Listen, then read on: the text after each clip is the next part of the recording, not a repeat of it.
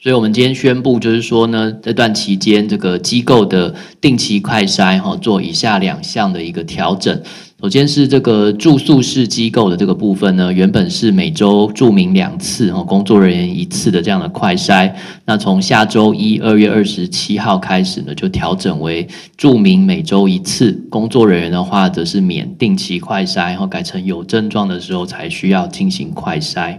哦，那有一些例外的情形的这个每周一次仍然是维持哈，那两岁以下则是呃不用做这个筛检。好，那另外一个调整是说，这个社区式的机构哈，那因为很多是这个据点的一些服务对象哈，在这个社区当中活动的，那他们的这个风险事实上又比这个机构的注明来的低，所以我们在这一波呢，决定在下周一起呢，取消这个原需做定期快筛的各类社区式机构，从二月二十七号开始呢，就取消他们的服务对象跟工作人员需要每周快筛这样的一个规定哈。那这个部分就是呃，请各机构还有这个服务对象或著名的工作人员等等注意这个调整。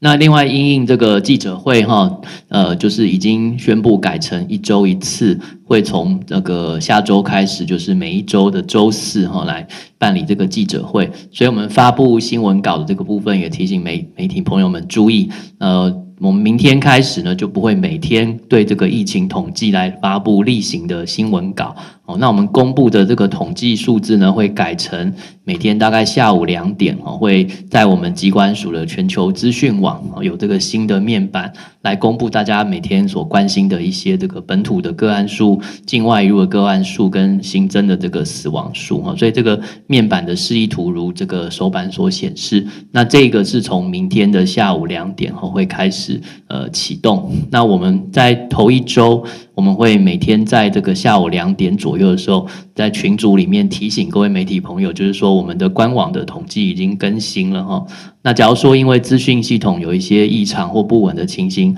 没有办法在两点钟及时更新，我们会把那个数字还是一样抛在群组给各位媒体朋友做参考。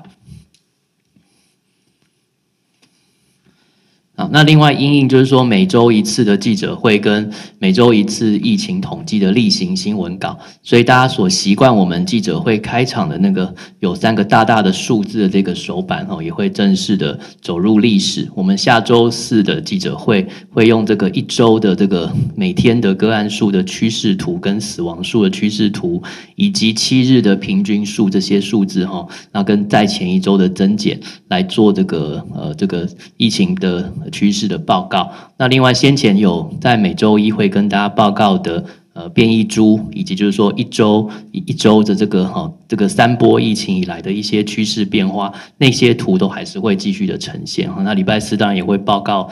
这个机构的筛检阳性率啊，以及中重症的一些统计，这些都会维持哈。所以，请各位媒体朋友再注意一下一些呃小规模的一些调整。那如果说在呃疫情的部分有一些呃需要打电话来跟我联系询问的，都很欢迎大家可以跟我联系哈。谢谢。